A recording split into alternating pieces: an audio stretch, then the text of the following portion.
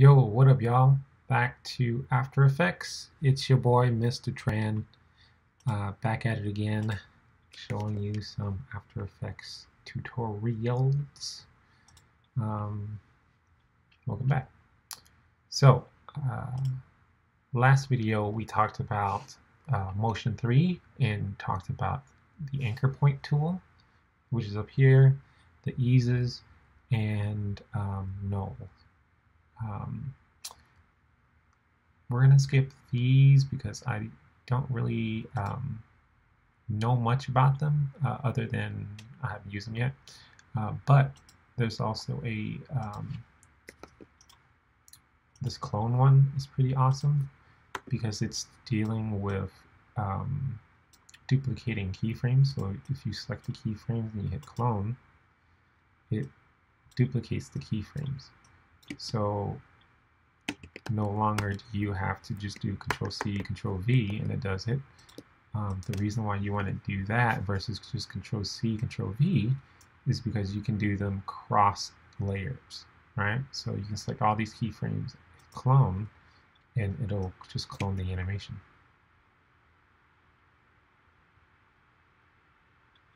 How cool is that? Um, so if you have like a walk cycle or some type of um, repeating looping animation that you want to happen, um, not like super looping, but like if you want it to happen one, two, three, or four times, but you don't want it to happen forever, this is a great way to do it. Um, so yeah. So that's the clone one. Um, now, I want to show you these little tools up here. You can change the colors of um, of um, this layer here. So instead of going up here to the fill and the stroke, you can just do that right here. Uh, the reason why you want to do this here is because you can add this as like a swatch, right? So let's say that is um, yeah, so that's the color there. So I'm going to add that there. So this one we want uh, to, you know, to have that be the color. You add that to the swatch. So uh, the great thing about these swatches is you can just reuse them. And so now I've got a swatch living in um, the plugin. So the way to turn this on is you have to have a layer selected uh, in order for it to work. Um, you can also change the color of the stroke as well. So that's kind of cool. So close that out. Now, the thing that I like to use, um, especially when you're doing animation in After Effects and you've got lots of layers that uh, you have created, um, it can get a little bit confusing, you know, especially if you're not a person that names or color code layers like I am. Um, you can use these little tools up here that will um, hide all the other layers except for the one you just selected. So if you click that, you see how all the others are hidden. Um, even like they, they were hidden like out of sight, you know, so you can focus. So it's kind of like how you can double click into like a, a like a, a grouped um, graphic in Illustrator. Um, you, you know, you can just turn everything else off and just focus on just this layer. So that's nice. And then you can click on this to go back.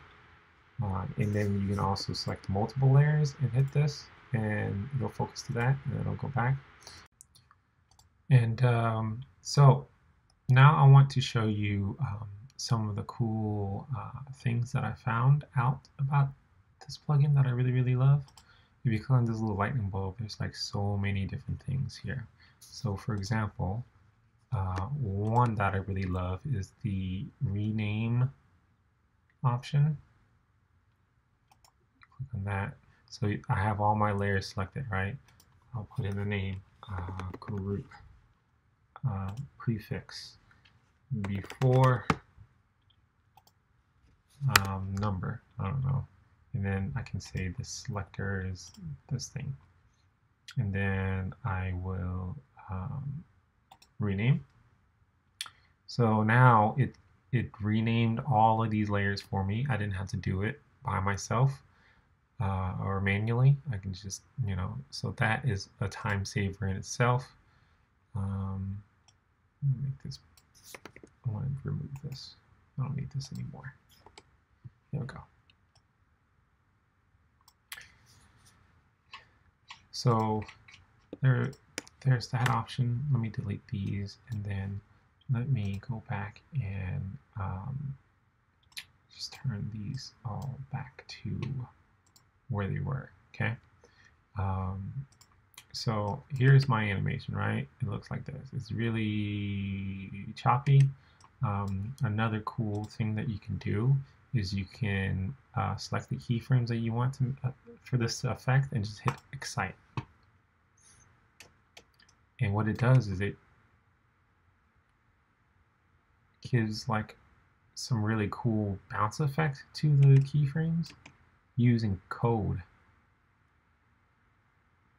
So like you see this red number here, if you go down into the expression, um, you can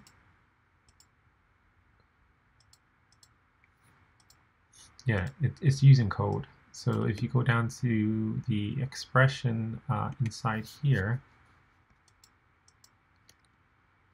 there it goes.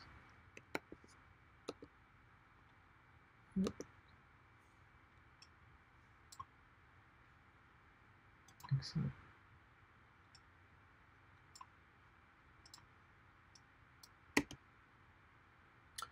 So what it does is it uses code to create these cool little bounce effects. If you click here, uh, it'll show the keyframe, like the, the code here.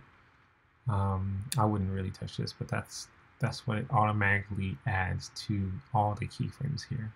So it gives you that nice little effect. And if you want to get rid of it, um, you want to get rid of the code.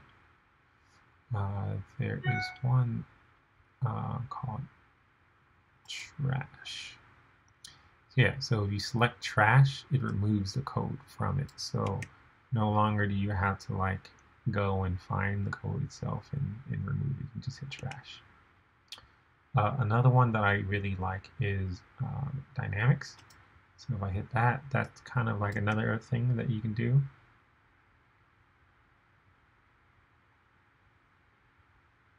So see dynamics, it um, creates this like cool little wiggle thing and you can actually mess with the frequency of how much it does that.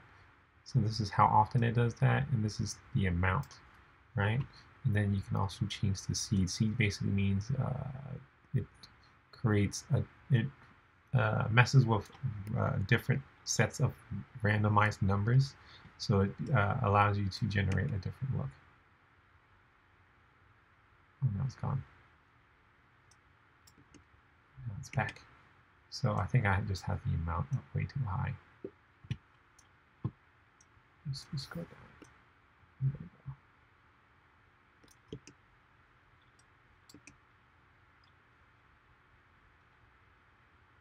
see how it's just still moving. So that's a cool thing that you can do. Just trash to get back to where we were at. Uh, oh, another really cool one is warp. Warp is super cool. Let's, let me show you.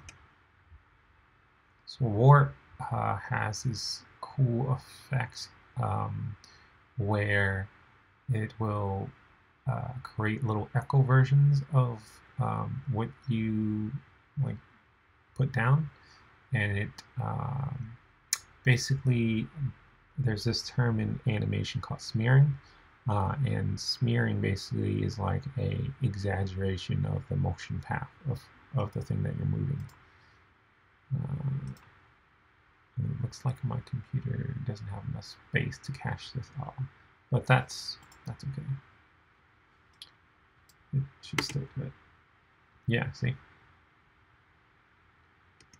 So that's kind of like a cool way of like, I don't know, making your animation look more dramatic than what it is. Um, Alright, so let's trash that.